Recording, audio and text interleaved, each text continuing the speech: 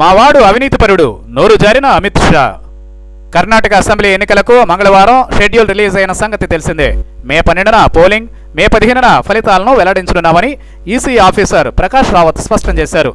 Schedule release అవ్వగానే BJP జాతీయ అధ్యక్షుడు అమిత్ షా మీడియా సమావేశం ఏర్పాటు చేశారు.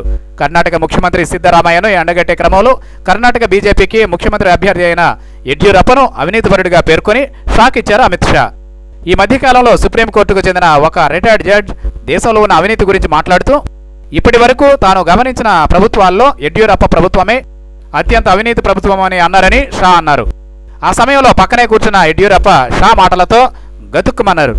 వెంటనే మరో నేత షా చెవిలో ఆయన చేసిన తప్పిదాన్ని చెప్పడంతో పొరపాటున గ్రహించిన అమిత్ షా యడ్యూరప్ప కాదు సిద్ధరామయ్య ప్రభుత్వం అంటూ తన తప్పును కవర్ చేసుకున్నారు. అయితే అప్పటికే జరగాల్సిన నష్టం జరిగిపోయింది. కాంగ్రెస్ షా మాటల్ని పట్టేసి తమకు అనుకూలంగా మార్చేసుకుంది. అమిత్ షా మాట్లాడిన మాటల్ని సోషల్ మీడియాలో వైరల్గా మార్చి పండగ చేసుకుంది. కర్ణాటక ప్రస్తుత ముఖ్యమంత్రి సిద్ధరామయ్య సైతం ఆ వీడియోను తన ట్విట్టర్లో షేర్ చేసి ఎట్టకేలకు షా నిజాలు మాట్లాడారుగా అంటూ ఎద్దేవా చేశారు.